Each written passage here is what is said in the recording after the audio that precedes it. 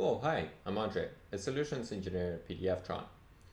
In this video, what I want to do is go ahead and watermark the PDF that we previously generated in the previous video. So if you haven't seen it, this is this video is part of the bigger series where we're building an Express and a Node.js app for kind of any document functionality.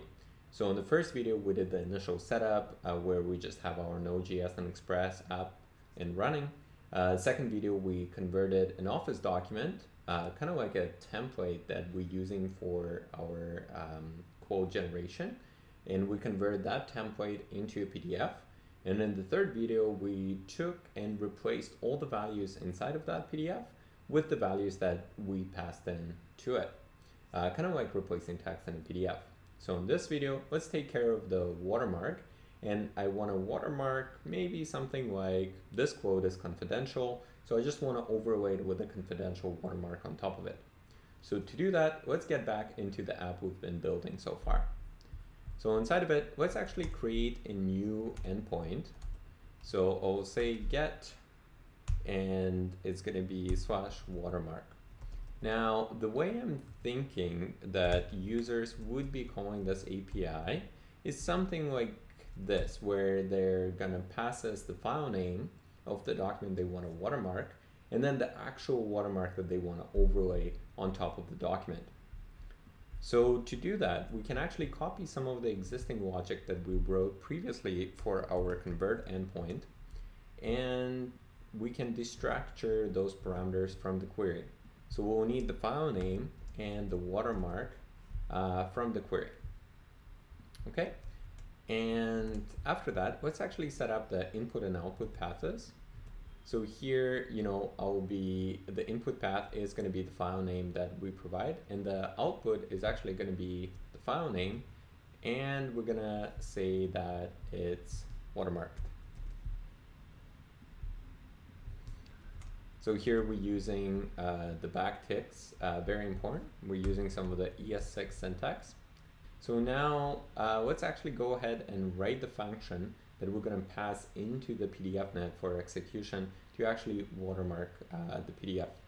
So to do that, I'll just say const watermark PDF and it's going to be a an arrow function and it's going to be async. Okay. And then inside of it, uh, let's actually create a new PDF doc. Um, all that stuff should be familiar at this point. So PDFnet, PDF doc, uh, create from create from file path. Inside of it, we're gonna give it an input path. Great. Uh, we're gonna then lock it down in a security handler, and we can await that. Okay, so far so good. Now here comes the new part. So here we're actually going to call the new, um, create a new uh, variable called stamper, and we're going to initialize it. So pdfnet dot stamper dot create. Uh, it takes options inside of this function. So it takes in pdfnet stamper size type. Uh, and again, all of this available from our API documentation that's available in the description below. So if you're not familiar or you want to try passing different options uh, and play around with it, then um, uh, go take a look at the API. He, so here's a few options available, absolute size, font size, and I'm just going to use relative scale for this one. And uh, the next two are two numbers for the size type. So I'm just going to provide a 0 0.5. Okay, great. So at this point, we have our stamper uh, initialized. Uh, so the next thing I want to do is set the alignment. So stem size is actually relative to the size of the crop box of the destination page. So the reason I've been kind of placing all of that uh, logic in here and where the 0.5 value is coming from is that crop box uh, kind of defines the visible region of the PDF. So we're saying that instead of kind of the full width of the whole page, we're actually going to take half of that and then we're going to relatively scale our watermark on top of the PDF document. Okay, and let's go ahead and set the alignment. So the set alignment takes pdfnet.stamper horizontal alignment e horizontal center and the same thing for vertical alignment pdfnet stamper uh, vertical alignment e underscore vertical center. Okay so this ensures that the watermark is going to be positioned kind of in the center of the document. Uh, so horizontal center and vertical center. Great. Uh, let's keep moving so the next one is really fun. We're gonna go ahead and set the color on um, kind of the watermark we're gonna do. So to do that, I'm just gonna call red color uh, point, and I'm gonna create a new color using our PDFnet color point uh, constructor in it with one, zero, zero, Okay, and next, uh, let's actually set the, um, the font color. And we're gonna pass the red color point. Then after that, uh, let's define the page set that we're gonna watermark um, our document. Now, our PDF document just contains a single uh, page. So uh, we're just gonna define that. So we'll just call it page set, await uh, PDF net uh, page set, create range. And then here we gonna start at page one. And since we, you know, in this case, we have a single um, page and we can just kind of say one and one, uh, kind of range start and range end. and, and you can actually modify the ranges specifically on if you only want to watermark the first, you know, 30 pages of your document. However, here, because we don't know and uh, the user can actually ask us to watermark an arbitrary number of pages. So let's go ahead and get the number of pages from the document that we've just created. So we can say uh, get page count. And what that will do is we'll create the page set for every uh, single page. Okay, so moving on, uh, let's actually go ahead and stamp the text. And inside of uh, this constructor, it takes a PDF doc uh, that we're going to be stamping it on. Uh, the next one is going to be actually what's going to be stamped on top of the document. So here we just need that watermark uh, variable that we did constructed. Uh, it could be an image, it could be text. Um, so in case of an image, you can provide the path. Uh, and then destination pages is going to be the page set. And this actually returns a promise, so let's make sure we have waited.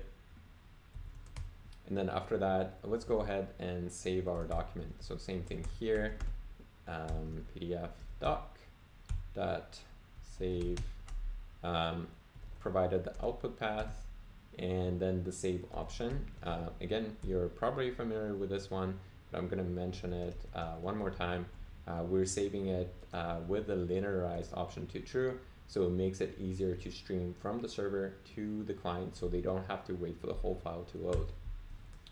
Okay, so this looks great. So we created our watermark PDF function. And now let's go ahead and take care of the endpoint. So make sure that we actually respond back with something when somebody calls it. To do that, again, I will just copy paste this one uh, I know there's a bit of a code repetition, but I'm doing this for the people coming in.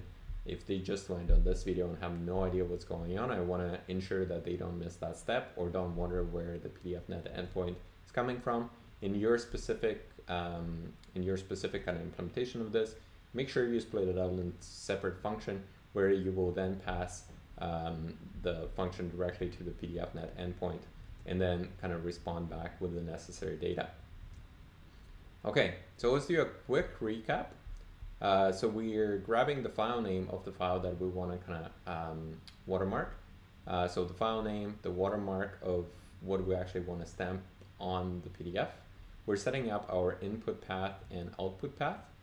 And afterwards, we are uh, we have a function that's going to be executed by PDFnet. Here, we're just creating the PDF doc from the input path that we created. Uh, then we're initializing a new PDFNet stamper class and we're kind of setting up the scaling and saying that it's going to be half um, the crop box or the height and width of the PDF page. Then we're setting the alignment to make sure that it aligns perfectly center. There are several other options available and you can kind of go and check out the API, play around with it. Uh, we're setting it in a red color.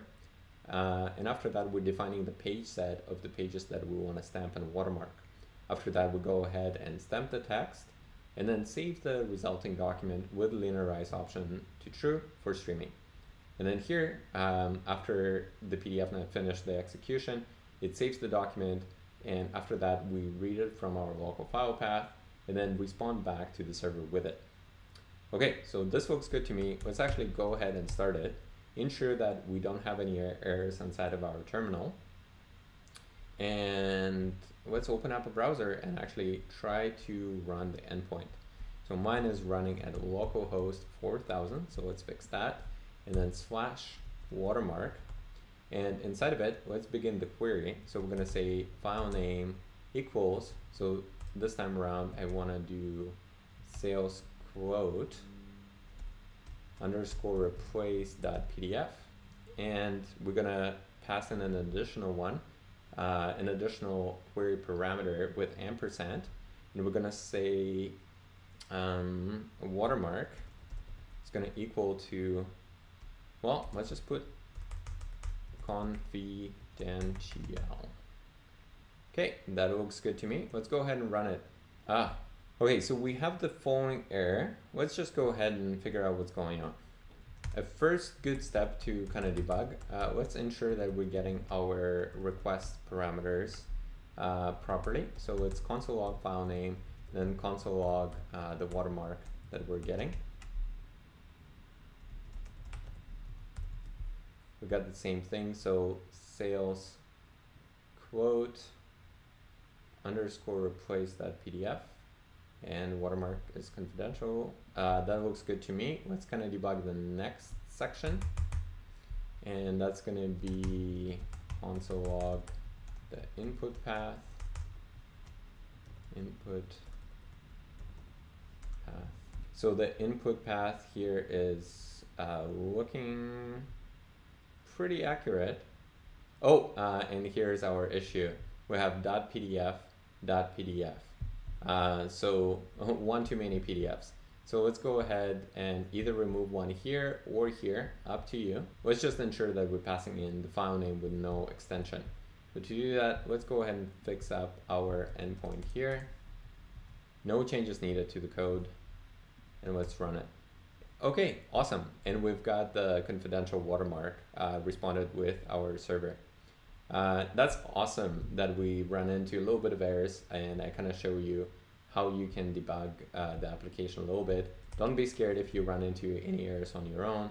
Um, just go ahead, kind of step through your variables, make sure everything named correctly, and then uh, you're gonna get results like this. Now, if you do run into any troubles or issues, uh, just go ahead and post your questions in the comments below, um, and I'll be able to get back to you. Thanks so much for watching. Now don't forget to subscribe if you want to stay tuned with the other videos on the channel as well.